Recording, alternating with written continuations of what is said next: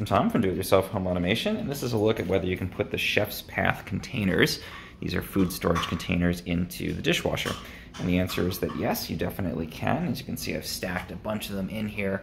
Because they are um, uniform sizes, it's easy to fit them all into a rack, and I've got quite a few. And then I like to just tuck the lids in around them. And let me grab my uh, dishwasher pod. Go ahead and drop this in. You can see it fits in fine in there. And then um, I'm gonna put this on a good cycle and run it. So yeah, you definitely can um, use the Chef's Path containers in the dishwasher. And um, that's a great way to clean them when you first get them and then uh, clean them after you put food in them. Makes it really easy to use them um, over and over again.